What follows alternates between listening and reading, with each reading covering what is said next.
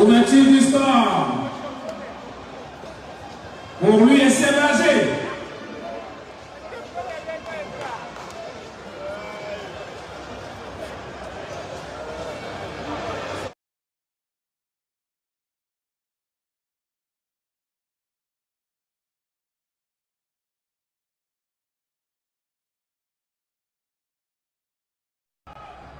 Attention à cette première situation. Et l'arbitre,